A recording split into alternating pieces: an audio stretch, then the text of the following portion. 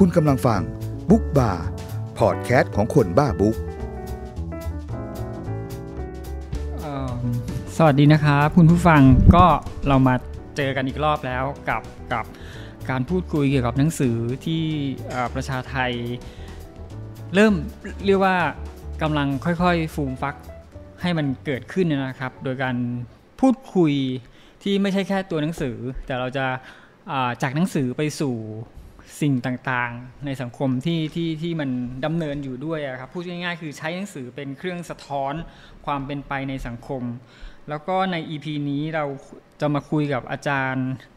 พิริยดิตมานิตนะครับ จากสาขาวิชาภาษาฝรั่งเศส ภาควิชาภาษาตะวันตก คณะอักษรอักษรศาสตร์จุฬาก็ก็จุฬาแหละครับ พูดไปแล้ว แล้วก็คนที่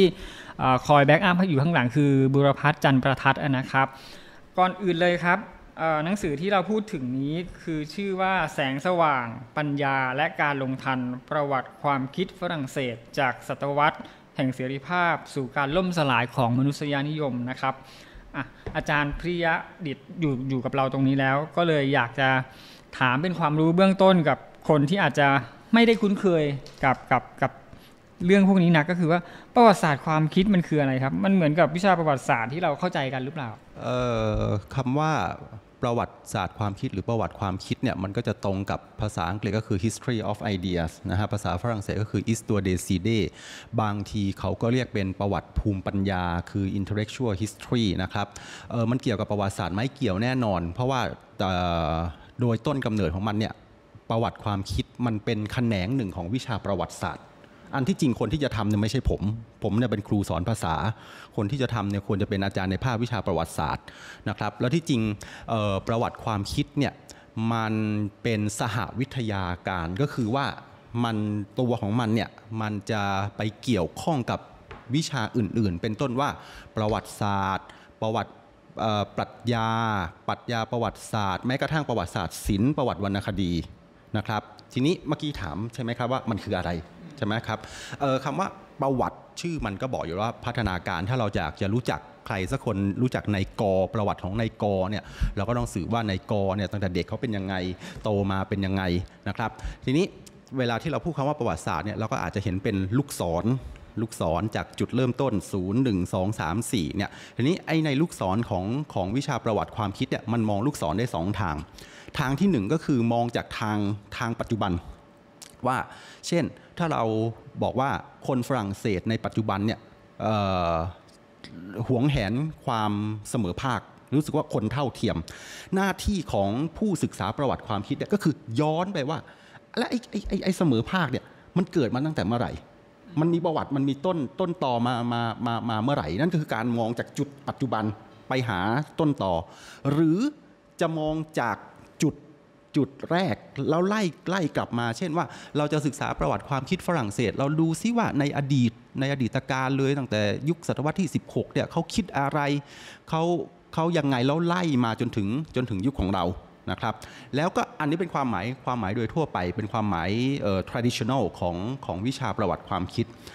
มันมีอีกความหมายหนึ่งซึ่ง มิเชลฟูโกเนี่ยเป็นคนเป็นคน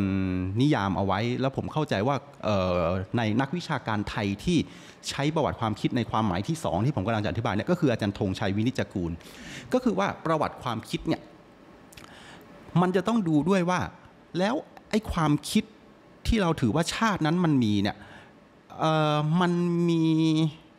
สภาวะทางสังคม มันมีบริบททางสังคม สภาพแวดล้อมอะไรที่ เกื้อหนุนให้ในยุคสมัยนั้นมันเกิดความคิดนั้น หรือว่าทำไมยุคหนึ่งหนึ่งความคิดหนึ่งจึงเป็นที่ยอมรับ แต่ความแต่พอเปลี่ยนยุคมันไม่เป็นที่ยอมรับ อันนี้ก็เป็นหน้าที่ของนักประวัติความคิดเหมือนกัน ยกตัวอย่างเช่น ถ้าคอปเปอร์นิคัสซึ่งเคยเสนอไว้เรื่องโลกไม่ได้เป็นศูนย์กลางนะฮะแต่ว่าเป็นเป็นโคจรรอบดวงอาทิตย์เนี่ยทำไมไปเสนอในสมัยนั้นอะศตวรรษ นั้นอะเก่าๆนั้นอะโอ้ยไม่ไม่มีใครเชื่อมันอะไร แต่ว่ามามาพูดกับเราสมัยนี้สบายมากเลย มันมีเงื่อนไขทางสังคมอะไร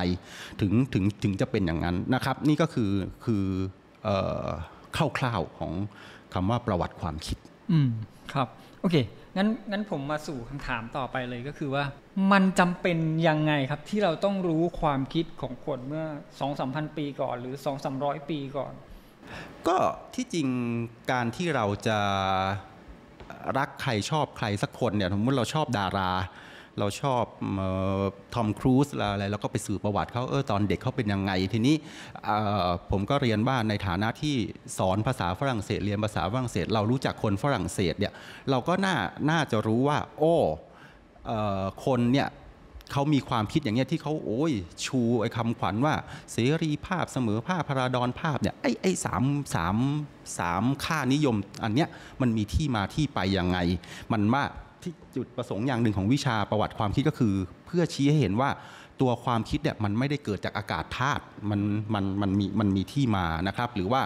เราคนไทยเนี่ยว่าเรามีความคิดอย่างหนึ่ง เราอาจจะมีความไม่แน่ใจ เราอาจจะมีความ ผมไม่รู้พูดถูกหรือเปล่าลอมชอมเรื่องศาสนา ซึ่งอาจจะไม่จริงก็ได้เเนี่ยแล้วเป็นเป็นยังไงที่มาที่ไปเป็นยังไง ก็คือคำตอบเนี่ยถามว่าทำไมเราจะต้องมาศึกษาประวัติศาสตร์ความคิด มันก็เป็นการตอบเดียวกับว่า แล้วทำไมเราต้องสนใจประวัติศาสตร์ คือถ้าเราตอบได้ว่าเราสนใจประวัติศาสตร์ เพื่อที่จะรู้ที่มาของเราอะไรมันก็อย่างเดียวกันอือแต่ผมว่าคนทั่วๆอาจจะสงสัยไงว่า ก็ เอคนเมื่อสองสามร้อยปีก่อน คิดแบบนี้ใช่ไหมแล้วเราก็ต้องไปรู้ว่าเขาคิดยังไง เพื่อจะกลับมารู้จักตัวเรา เพื่อจะกลับมาว่ารู้ว่าที่เรามาเป็นวันเนี้ยเพราะว่ามันในอดีตมันมันเป็นมาแต่อดีตมันมีที่มาพัฒนามาเปลี่ยนแปลง อาจจะเกิดการคัดง้างทางความคิดอะไร จนมันมาสู่ว่าอ๋อที่เรามีความคิดอย่างนี้ที่เรานึกว่าเราคิดอย่างนี้เป็นเรื่องปกติแล้วจริงๆแล้วเปล่าหรอก จริงๆมันมันมีก่อนก่อนหน้านั้นมันมันมันมันมี อันนี้ถามเชิงถามเล่นนะอาจารย์คือ ผมเคยได้ยินว่า ไม่รู้อาจารย์เคยได้ยินเปล่าเหมือนกับว่าอะไรนะไอความคิดเนี่ยความคิดต่างๆ มันถูกคิดมาหมดแล้ว แล้วเราแบบว่าเราก็ได้แค่คิดซ้ำกับต่อยอดไอสิ่งที่เขาคิดกันมาเท่านั้นแหละ นี่มันจริงหรือเปล่าเคยได้ยินไหมอาจารย์เคยครับเคยครับ เคยครับตอบเร็วๆ ถ้าตอบเร็วๆ ในกรณีในกรณีฝรั่งเศสก็ดูเหมือนเป็นดูเหมือนเป็นเช่นนั้นเหมือนกันนะครับ ดูดูเหมือนเป็นอย่างนั้นว่า เราบอกว่า โอ้ยออคนฝรั่งเศสหลงไหลเสรีภาพความเท่าเทียมพอพอสืบสืบไปเอ๊ะเขาก็คิดมาแต่ศตวรรษที่ 16 แล้วนี่นะเพียงแต่ว่าพอมันเข้ามาถึงยุคเราเนี่ยศตวรรษที่ 20 21เนี่ยมันก็เริ่มตั้งคำถามมันเริ่มมันเริ่มมันเริ่มท้าทายแล้ว ว่า เอ๊ะจริงหรือเปล่าที่ว่าเหตุผลนิยมเนี่ยมันจะนำเราไปสู่ความสุขสู่ความสบายบางทีเหตุผลเนี่ยมันก็เป็นหนึ่งเอามาใช้ มิเชลฟูโกเนี่ยก็ชี้ว่าเอ่อมนุษย์เนี่ยใช้เหตุผลกดขี่กันนะครับหรือว่าเหตุผลเนี่ยมันก็ไม่ใช่ตัวที่จะพาเราไปสู่สัจธรรมที่แท้จริงก็ได้อย่างเงี้ยนะครับเอ่อคือหนังสือของอาจารย์นี้ไล่เรียงตั้งแต่ศตวรรษที่ 16 จนถึงศตวรรษที่ 20 ใช่ครับ ซึ่งในศตวรรษที่เอ่อศตวรรษที่ 16 เนี่ยมันก็เป็นยุคเรเนเรเนซองส์หรือยุคฟื้นฟูศิลปวิทยาการที่เราเข้าใจกันทั่วไปนะครับ ก็เลย อยากจะถามอาจารย์ตรงนี้ครับว่าทำไมถึงต้องเริ่มที่ศตวรรษที่ 16 เพราะว่าในชื่อหนังสือเนี่ยมันพูดถึงว่าประวัติศาสตร์ความคิดฝรั่งเศสจากศตวรรษแห่งเสรีภาพ สู่การล่มสลายของมุนุษยนิยมแปลว่าช่วงศตวรรษที่ 16แห่งเสรีภาพมันเริ่มมันเริ่มผลิบานในฝรั่งเศสหรอหรือยังไง ใช่ครับเอ่อคือผมจุดตั้งเนี่ยก็คือเรื่องเรื่องของว่าอ้าวตั้งเราต้องตั้งหลักก่อนว่า แล้วไอ้ความคิดฝรั่งเศสเนี่ยมันอะไรคำตอบของผมก็คือความคิดฝรั่งเศสก็คือความคิดเรื่องเหตุผลนิยม เรื่องเสรีภาพเรื่องเสมอภาคผมก็ตั้งคำถามว่าแล้วจุดเริ่มตั้งต้นมามาจากไหน ข้อเสนอของผมซึ่งอาจจะมีนักวิชาการไม่เห็นด้วยก็ได้ แต่แต่ในทัศนะของผมเนี่ยผมขอตั้งต้นศตวรรษที่ 16 เพราะว่าก่อนก่อนหน้าศตวรรษที่ 16เนี่ยมันคือยุคกลาง ยุคกลางเนี่ยความคิดกระแสหลักคือคิดศาสคิดศาสนา แล้วเป็นคิดแบบคาทอลิก คิดแบบคาทอลิก ซึ่งยังไม่มีความเท่าเทียมแน่ๆถ้าเราไม่ใช่พระเราไม่มีสิทธิ์ที่จะอ่านไบเบิล เราไม่มีสิทธิ์เราจะต้องเราหน้าที่ของเราก็คือไปไปโบสถ์ไปฟังพระพระจะตีความไบเบิลอะไรก็ขึ้นอยู่กับพระ แต่พอศตวรรษที่ 16ปั๊บเอาเฉพาะเรื่องศาสนาก็ได้นะฮะพอมีการปฏิรูปไอ้ reformation เนี่ยไอ้ตัว reformation เนี่ยก็เป็นจุดตั้งต้นของออความเสมอภาคในในยุโรป เพราะว่าพวกพวกปฏิรูปเนี่ยเขาเสนอว่าเราเนี่ยจะ ผิวขาวผิวดำเราจะเป็นคนฝรั่งเศสคนอิตาเลียน เราจะเป็นพระราชาเราจะเป็นชาวนา แต่ในมุมมองของพระเจ้าเราเท่ากันใช่ไหมฮะเราเท่ากันแล้วว่าเราอ่านไบเบิลเองได้เนี่ยเนี่ยก็จะเป็นจุดจุดตั้งต้นของของไอเดียเรื่องคนเราเท่ากัน นะฮะเนี่ยเนี่ยอันนี้ก็จะกลับมาตอบคำถามแรกแล้วว่าโอ๋อแสดงว่าไอ้ความเท่าเทียมกันเนี่ยโอ้จุดตั้งต้นมันอยู่ตรงนี้ ผมก็เลยมาตั้งต้นที่ชี้ให้เห็นว่าศตวรรษที่ 16 มันเป็นจุดอาจจะเรียกว่าเป็นจุดเริ่มจุดตัดกับยุคกลางเนี่ยจุดที่เราเรียกว่าโมเดิร์นิซึมเนี่ยจุดเริ่มสมัยใหม่เนี่ยมันมาเริ่มที่อันนี้นะครับ ถ้างั้นผมผมขอถามแบบอภิอภิปรายแบบโต้เถียงนิดนึงนะครับแปลว่าในยุคกลางของยุโรปเนี่ย เรื่องเสรีภาพเรื่องเหตุผลมันไม่มีเลยเหรอครับ หมายถึงในฝรั่งเศส ถ้าความเท่าเทียมไม่น่านะ เพราะว่าเพราะว่าเพราะว่ามันก็ยังเป็นอะไรระบบศักดินาสวามิภักนะครับ แล้วก็ความคิดกระแสหลักเนี่ยมันก็เป็นศาสนาคริสต์แน่นอน แน่นอนว่านักเขียนนะฮะนักปราชญ์ยุคกลางน่ะมีศิลปินน่ะมี แต่ผมรู้สึกว่าไอ้สำนึก หรือว่าเริ่มเริ่มคนที่เริ่มจะคิดเรื่องปัดแนวคิดเรื่องปัดเจกเนี่ยในความเข้าใจของผมเนี่ยยุคกลางยังไม่เกิด ผมผมหมายความว่าในยุคกลางเนี่ยเวลาที่เราจะบอกว่าเราเป็นใครเนี่ยเรา identify ตัวเองกับชนชั้นที่เราสังกัด เรายังไม่มีสำนึกว่า ผมเป็นนายพิริยดิต ผมเป็นนายกฤษดา ถ้าผมเกิดยุคกลางสำนึกของผมผมเข้าใจเองว่า ผมจะว่า อ๋อ ฉันเป็นเลข ฉันเป็นขุนนาง ผมผมเข้าใจอย่างนั้น ผมมีความรู้สึกว่าไอ้ไอ้ไอ้สำนึกไอ้ไอ้ที่เรียกว่า individualism เนี่ยปัจเจกนิยมเนี่ยมันมาเริ่มมันมาเริ่มเอาศตวรรษที่ 16อืมโอเคถ้างั้นถามต่อครับอาจารย์ อันนี้อาจารย์เล่าเลยแล้วกัน พัฒนาการของความคิดฝรั่งเศสจากศตวรรษที่ 16 จนถึง 19 เอา 19 ก่อนนะ เพราะรู้สึกว่า 20 มันจะแบบมันจะอีกแบบหนึ่งแล้วมันเป็นมันเป็นยังไงครับ คือจากที่ผมอ่านเนี่ยดูเหมือนว่า วิธีคิดแบบฝรั่งเศสจะเป็นอย่างที่อาจารย์พูดว่าเหตุผลนิยมนี่จะเด่นมากอ่าฮะรบกวนอาจารย์เล่าหน่อยครับนี่ให้นี่ให้สรุปหนังสือนี่อะก็คือ 16 จุดตั้งต้นใช่ไหมฮะ16 จุดตั้งต้นอะอะสมมุติว่าเรื่องเรื่องเหตุผลเนี่ยมันก็จะมีนักคิดหลักที่ผมเขียนเขียนในนี้รวมกับเรื่องการปฏิรูปทางการปฏิรูปศาสนาด้วย ซึ่งจะเป็นตัวชูไอประเด็นเรื่องความเท่าเทียมขึ้นมาใช่ไหมครับแล้วก็จะมีนักคิดสองคนที่ผมพูดในหนังสือเล่มนี้เป็นหลักก็คือลาเบเร่กับมงแตนเนี่ยใช่ไหมฮะก็คือก็คือแต่อันนั้นก็คือเขาเอ่อเราอย่าลืมว่ามันเป็นยุคเรเนซองส์เรเนซองส์เนี่ยก็หมายความว่าไอ้วัฒนธรรมกรีกโบราณที่มันเคย ดับวูบไปในยุคกลาง เพราะว่าคริสตศาสนาเนี่ยเป็นตัวตัวหลักตัวตัวเนี่ยมันมันฟื้นกลับมาเพราะฉะนั้นพอมันกลับมาในฝรั่งเศสเนี่ยพวกนักอักษรศาสตร์พวกอะไรพวกเนี้ยเขาก็ตื่นเต้น ตื่นเต้นยินดีนะฮะมันเป็นจุดเริ่มต้นจนกระทั่งเข้ามาเข้ามาศตวรรษที่ 17เนี่ยมันจึงเกิดกระแสสำคัญเหตุผลนิยมกับเรเน่เดการ์ต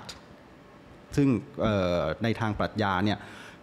หลายคนก็ถือเดการ์ตเนี่ยเป็นบิดาของปรัชญาสมัยใหม่ใช่ไหมครับ เพราะว่าแกล้างของเดิมหมดเลยอริสโตเติลเคยพูดว่าอะไรจริง ๆ มันมีรูปด้วยซ้ำมันมีรูปที่อริสโตเติลเอ่อเดการ์ตเนี่ยเท้าเนี่ยเหยียบเหยียบหนังสืออริสโตเติลอยู่นะฮะเป็นสัญลักษณ์ว่าไม่เอาแล้วแหละเพราะว่าเมื่อก่อนเนี่ยเวลาถ้าเราเราถกเถียงปรัชญากันเนี่ยแล้วมีฝ่ายหนึ่งบอกว่าแต่อริสโตเติลเคยพูดไว้นะ จบเลยนะฮะ คือเรียกว่าไม่ต้องเถียงกันต่อเลยอริสโตเติลเนี่ยใหญ่มาก แต่ว่าเดการ์ตบอกไม่เอาละก็จะเกิดปรัชญาที่โดยสรุปที่บอกว่าเอเอ ergo sum เนี่ยเอ่อ I think therefore I am เนี่ยนะฮะฉันคิดฉันคิดฉันจึงเป็นเนี่ยมาจนถึงแนวคิดว่าเรามีเสรี เรามีเสรี ถึงแม้ว่าโอเคเดกักยังเชื่อเรื่องพระเจ้าอยู่ แต่ว่า ในทัศนะของเดกักเนี่ยพระเจ้าไม่ได้เป็นตัวคุมชะตาเรา เพราะว่าถ้าเราในในความเห็นของเดกักเนี่ยถ้าเราทำอะไรโดยที่พระเจ้าบงการอยู่แล้ว หมายถึงว่าสมมุติว่าถ้าวันเนี้ยผมมาอัดรายการวันเนี้ยเพราะว่าพระเจ้าสั่งเพราะฉะนั้นผมก็ไม่ต้องรับผิดชอบอะไรสิ่งที่ผมทำเลย เพราะว่าพระเจ้าบงการหมดแล้วว่าผมจะทำอะไรผมจะเดินเอาไม้ไปตีหัวใครสักคนหนึ่งผมก็ไม่ต้องรับผิดชอบ แต่ว่าเดกักบอกว่าโนยูเรื่องของยูเองยูเป็นเสรีของยูเอง แม้จะมีพระเจ้าว่าพระเจ้าเสนอทางเลือกแต่ว่ามนุษย์เนี่ยเลือกแต่ว่าแต่ว่าในศตวรรษที่ 17เนี่ยของเดกักเนี่ยเหตุผลนิยมเนี่ยมันยังมีลักษณะหรือว่าตัวนักคิดเนี่ยมันจะมีลักษณะเป็นอยู่ในหอคอยงาช้าง คือนักคิดก็คิดไปเขียนตำราเขียนงานของตัวไปมันมันก็เป็นแต่เพียงความคิดในเชิงนามธรรมที่ไม่ได้นำไปสู่การปฏิบัติ พัฒนาการขั้นสำคัญก็คือไอเหตุผลนิยมอันเนี้ยเมื่อมันเข้าสู่ศตวรรษที่ 18 คือยุคแสงสว่าง ยุคภูมิปัญญาเนี่ยไอ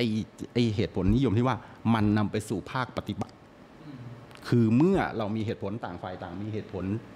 เท่ากันแล้วเนี่ยเหตุใดเรายังจะต้องเชื่อ authority ต่อไป เหตุใดจะต้องเชื่อเพียงเพราะว่านี่เป็นผู้ใหญ่พูด เหตุใดจะต้องเชื่อเพียงเพราะว่านี่เป็นพระพูด หรือเหตุใดจะต้องเชื่อเพียงเพราะนี่เป็นพระเจ้าแผ่นดินพูด คนฝรั่งเศสก็ ตั้งต้นอย่างนั้น มันก็เลยเกิดว่าเอาไอ้หลักเหตุผลนิยมเนี่ยคิดต่อไปอ้าวถ้าคนเรามีเหตุผลคนเราก็ต้องเท่ากันเมื่อเหตุผลเท่ากัน เพราะฉะนั้นแล้วไอ้ระบอบการปกครองที่เป็นอยู่เนี่ยไอ้ระบอบสมบูรณาญาสิทธิราชที่จะมีใครสักคนหนึ่งที่จะบอกตัวเองว่าตัวเองใหญ่กว่า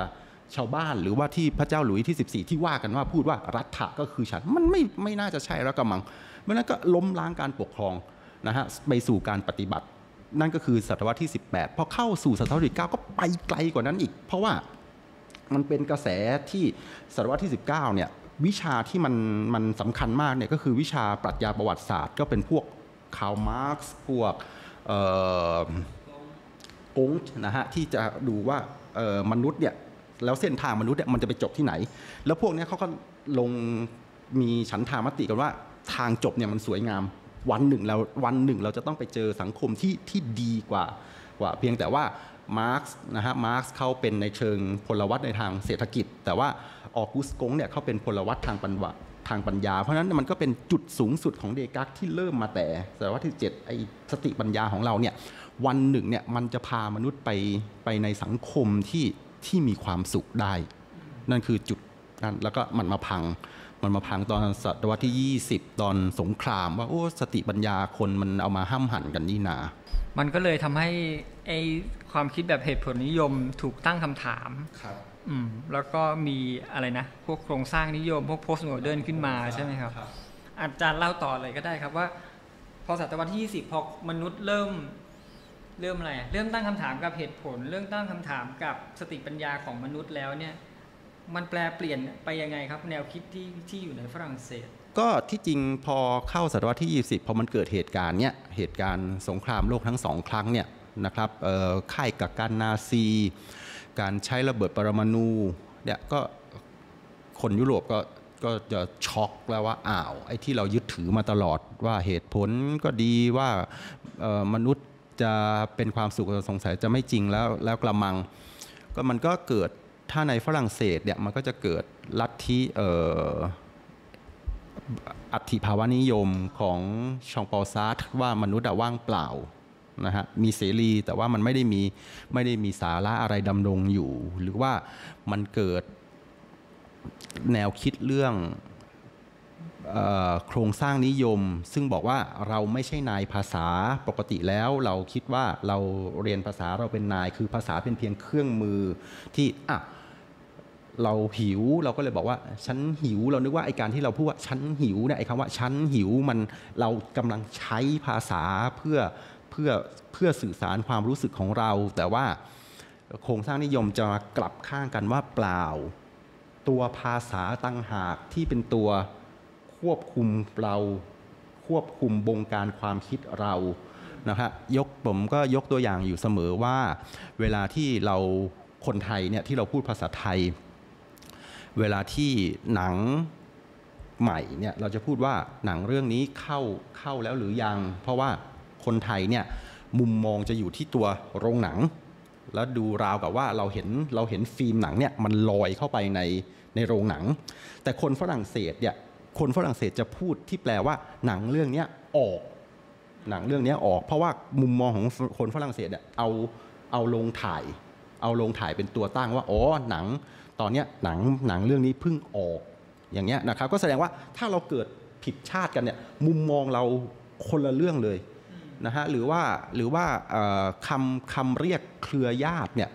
นะว่าสมมติคุณกฤษดามี มีคนที่คานตามกันมาเนี่ยคุณกฤษดาไม่สนหรอกว่าเขาเป็นผู้ชายหรือเป็นผู้หญิง คุณกฤษดาก็จะสนว่าเข้ามาก่อนหรือเข้ามาหลัง ถ้าเข้ามาก่อนก็จะเรียกว่าพี่ ถ้าเข้ามาหลังก็เป็นน้อง แต่ลองกลับกันคุณกฤษดาลองไปเกิดในชาติที่พูดอังกฤษ หรือพูดฝรั่งเศสคุณกฤษดาไม่สนแล้วแหละว่า เข้ามาก่อนหรือเข้ามาหลัง จะสนเพศมากกว่าว่าอ๋อเข้ามาก่อนเข้ามาหลังไม่รู้แหละแต่เขาเป็นถ้าเขาเป็นผู้ชายเรียกเขาว่า brother ถ้าเขาเป็นผู้หญิงเรียกว่า sister เห็นไหมฮะว่า พอเกิดในชาติที่พูดอังกฤษหรือฝรั่งเศสปั๊บเนี่ยเราไม่มองคนก่อนหลังละแต่คนที่อยู่ในไทยเนี่ยถูกบังคับตั้งแต่อ้อนแต่ออกให้มองคนว่าเขามาก่อนหรือเขามาหลังนั้นเนี่ยเราไม่ได้เป็นอิสระจากภาษา เราไม่ได้เป็นนายภาษาเราถูกภาษาบงการ มันจึงเกิดว่าเรามา พวกเนี้ยพวกโครงสร้างหรือหลังของเขาถึงมาศึกษาเรื่องวาทกรรม วาทกรรมในแง่ที่ว่าหมายถึงว่ามันมีความคิดอะไรที่คลุมบงการเราอยู่คือเราไม่ได้เป็นอิสระจริง ๆ และนี่ยิ่งพันนวกกับเรื่องของจิตวิเคราะห์เข้าไปยิ่งไปกันใหญ่เลยว่าโอ้โหเรามี สัญชาตญาณอะไรที่หมกอยู่ แล้วไม่ได้เป็นสัตว์ประเสริฐอะไรอย่างที่เรานึกเรามีเอ่อไอความก้าวร้าวอยากจะทำลายคนอะไร ตั้งแต่ซิกมุนฟรอยแล้วตามมาจนถึงลากองในยุคศตวรรษที่20 นะครับเพราะฉะนั้นภาพมนุษย์ที่เปลี่ยมไปด้วยเหตุผลมันก็ยิ่งไปกันใหญ่ว่าฟูโก้ฟูโก้บอกอ้าวเรามีเหตุผล แต่ว่าไอเหตุผลนั่นแหละที่เป็นตัวที่ทำให้เกิดคุกทำให้เกิดที่จองจำการที่ เรามีเหตุผลนั่นแหละ เราถึงได้มาแยกคนว่าคนนี้มีเหตุผลคนนี้ไม่มีเหตุผล คนไม่มีเหตุผลคือคนบ้า จึงเกิดเป็นโรงพยาบาลบ้ากักขังคนอะไรอย่างเงี้ยครับถ้าพูดโดยโดยคร่าวๆก็พูดถ้าผมพูดพูดตามภาษาทั่วไปได้ไหมว่าศตวรรษที่ 10 มันเป็นอารมณ์คล้าย ๆ แบบว่าในฝรั่งเศสนะคล้าย ๆ เหมือนว่าไอเหตุผลนิยมมันมันมันถูกถูกตีอะถูกทำลายอะ แล้วเพื่อจะเกิดไอแนวคิดใหม่ๆ ที่อาจารย์พูดขึ้นมาตะกี้ใช่ครับอือฮึแต่แต่ไม่ได้แปลว่าเขาทิ้งเหตุผลใช่ไหมไม่ได้แปลว่าเขาทิ้งครับ เพราะว่าถ้าไปเรียนประเทศฝรั่งเศส ถ้าตอบข้อสอบไม่มีเหตุผลก็เรียนไม่จบหรอกครับครับ โอเคอะงั้นงั้นผมว่าเรามาคุยมาถึงตรงนี้ คนอ่านก็อาจจะอยากจะรู้ว่า ภูมิปัญญาความคิดของฝรั่งเศสนะครับ มันมีลักษณะเฉพาะอะไรยังไงของมันบ้าง คือเข้าใจว่ามีคำว่าเหตุผลนิยมแน่แหละแต่ว่ามันมีอะไรที่พิเศษนอกจากนี้ไหม ผมก็คิดว่าเรื่องเรื่องเรื่องเรื่องเรื่องเสรีภาพ เรื่องเสรีภาพ เรื่องเสมอภาคเรื่องพลาดอนภาพ แล้วก็อีกอันหนึ่งก็คืออาพอหลังหลังการปฏิวัติเนี่ยสิ่งสำคัญก็คือแนวคิดเรื่องสังคมคาราวาสก็คือว่าอะอะนะฮะก็คือไม่มีศาสนาประจำชาติ เพราะว่าก่อนหน้านั้นน่ะเอ่อ คริสตศาสนาเนี่ยเข้ามาแทรกแซงกับเรื่องของการเมืองเรื่องออทางโลกกับทางธรรมเนี่ยมันปนกันไปหมดเพราะฉะนั้นพอปฏิวัติเนี่ยเขาก็จะพยายามแยกแยกรัฐกับแยกเชิร์ชออกจากกันเด็ดขาดนะครับ ถ้าจะ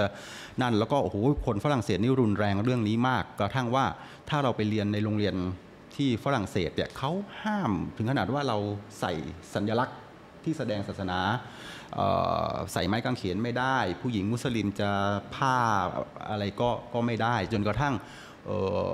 นายกรัฐมนตรีคนปัจจุบันเนี่ยที่เป็นผู้ชายเนี่ยแต่ก่อนก่อนที่จะเป็นนายกเนี่ยแกเป็นรัฐมนตรีกระทรวงศึกษา แกก็ดำริว่าจะให้นักเรียนมียูนิฟอร์ม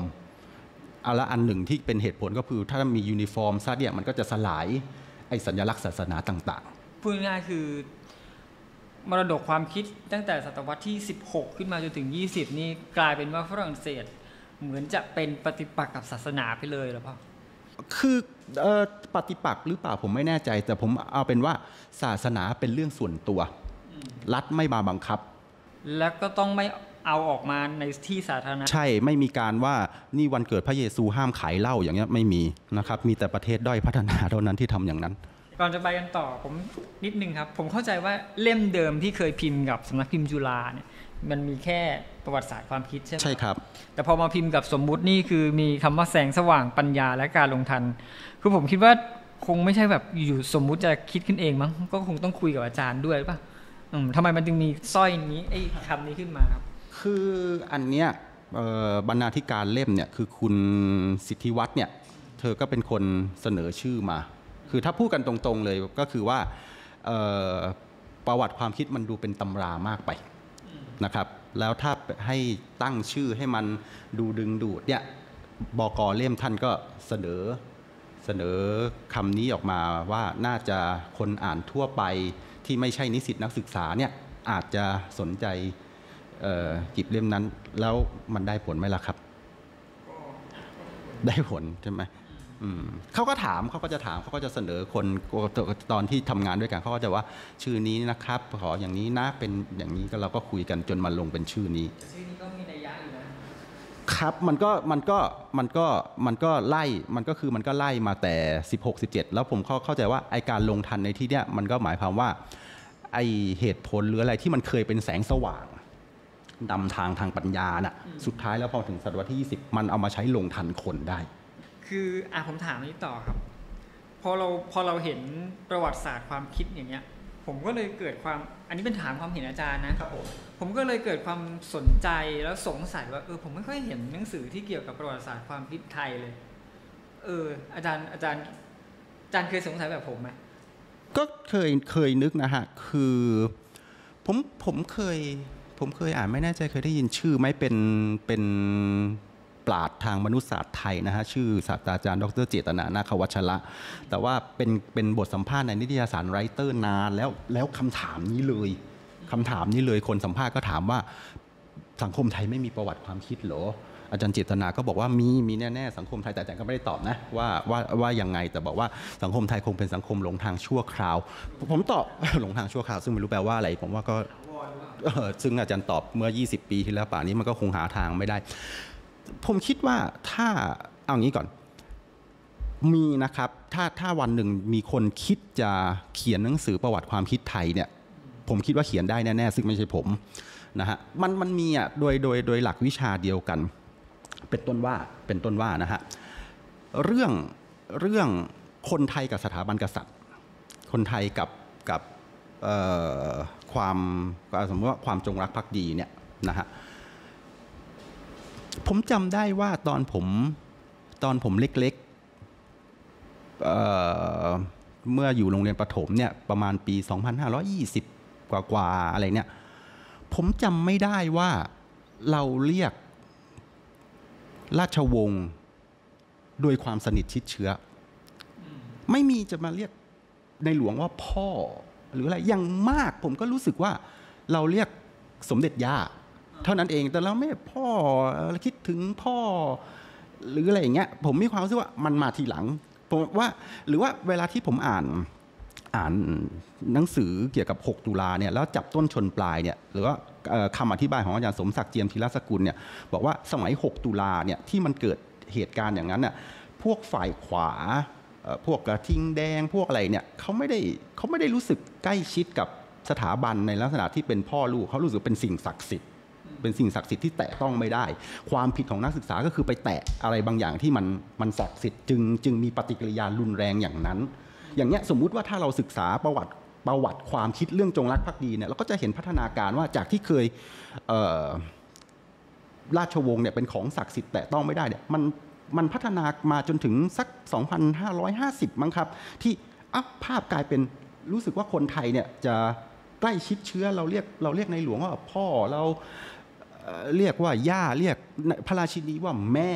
อะไรเงี้ยหรือว่าแม้หรือว่าแม้แต่การที่มีสติกเกอร์ว่าเรารักในหลวง อย่างนี้ผมไม่คิดว่า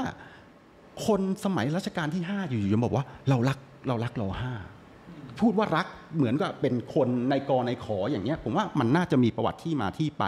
เช่ถ้าเอาเร็วๆนะฮะถ้าเอาเร็วๆคำอธิบายของอาจารย์สมศักดิ์เจียมธีรสกุลก็บอกว่าไอ้ปรากฏการณ์นี้มันใหม่มาก มันใหม่ มันน่าจะสัก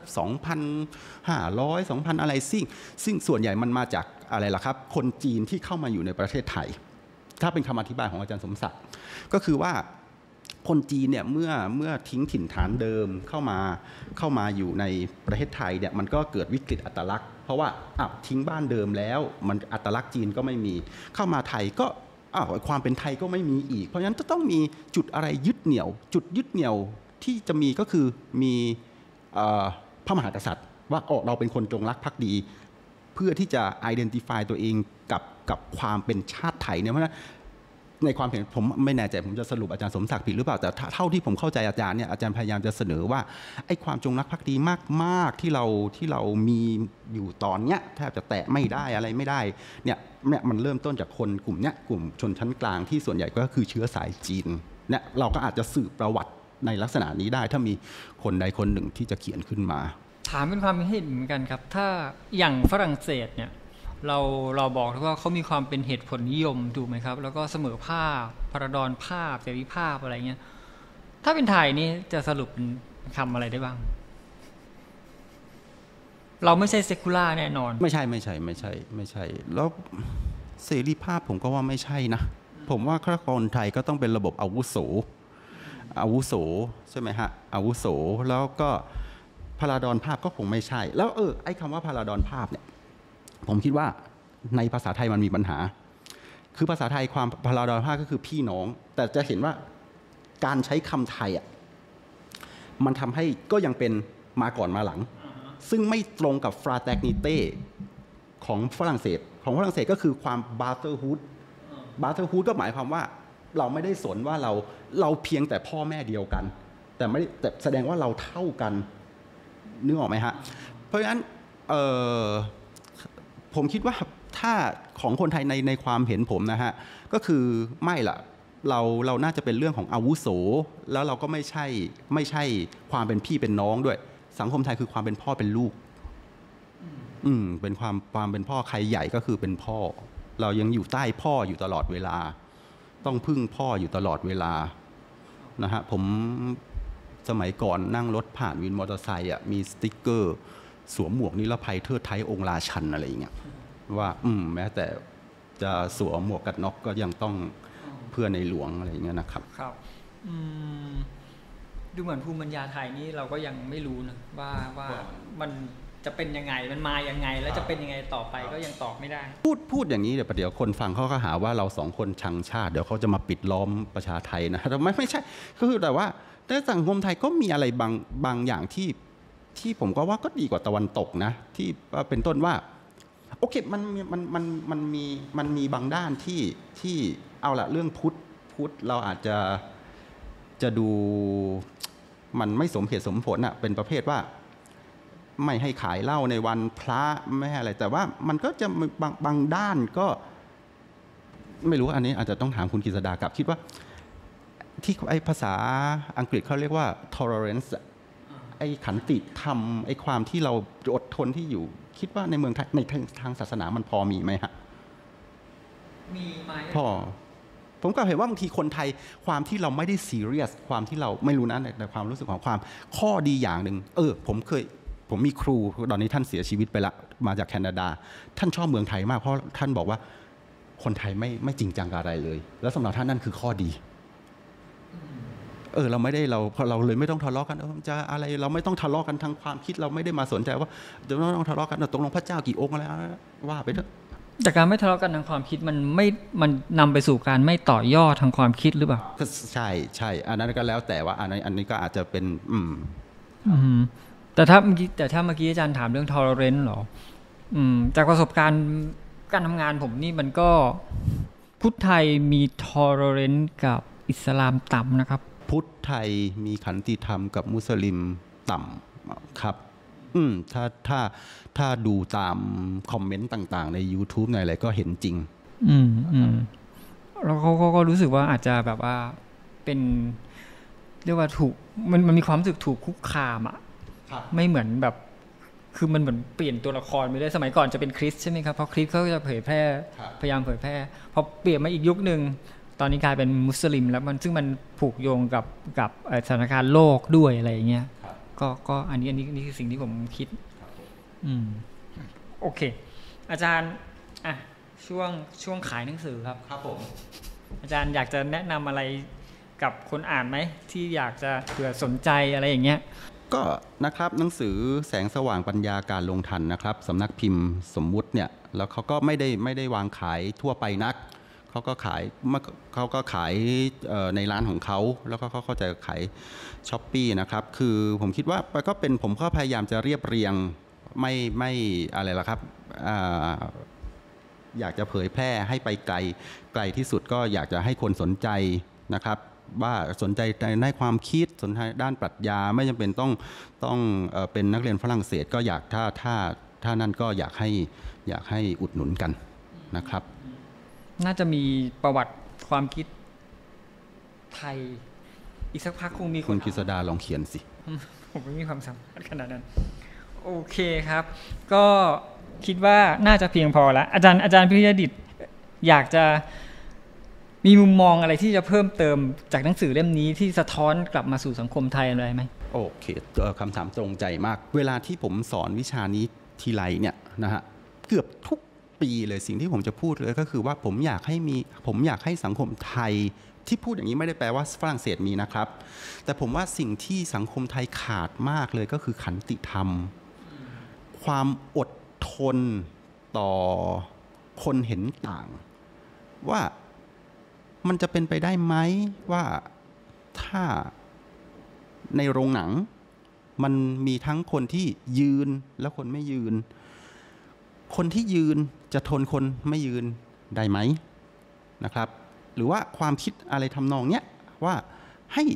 ให้โกรธแค่ไหนก็ไม่ใช่ว่า ไล่ออกนอกประเทศ หรือกระทั่งจะทำร้าย หรือจะต้องออฟ้องร้องกัน เราเราอดทนได้ไหมผมผมอยากให้ผมอยากให้สังคมไทยมีมีมีตรงนี้จริง ๆ ครับในทางในทางการเมืองในความเชื่อว่าเราเชื่ออะไรสักอย่างหนึ่งเรารักสถาบันอะไรสักอย่างหนึ่งแต่ว่าในความรักเนี่ยเป็นไปได้ไหมที่เราไม่จำเป็นต้องเกลียดคนที่เขาไม่ได้เห็นอย่างเราเขาไม่ได้เชื่ออย่างเราเป็นไปได้ไหมงั้นถามนิดนึงแล้ว ในฝรั่งเศสเขาเป็นเป็นแบบนี้หรือเปล่าเขาก็ว่ากันว่าบางทีมันก็อาจจะเป็นมายาคติที่ว่าโอ้ยฝรั่งไม่ทะเลาะกัน แต่ผมผมเข้าใจว่าเขาในในความรู้สึกของผมว่าเออถ้าคุณกฤษดาเชียร์มาคง ผมไม่เชียร์เนี่ย คุณกฤษดาคงไม่คงไม่คิดจะมาทำร้ายผมอะในฝรั่งเศสนะฮะหรือว่าถ้าผม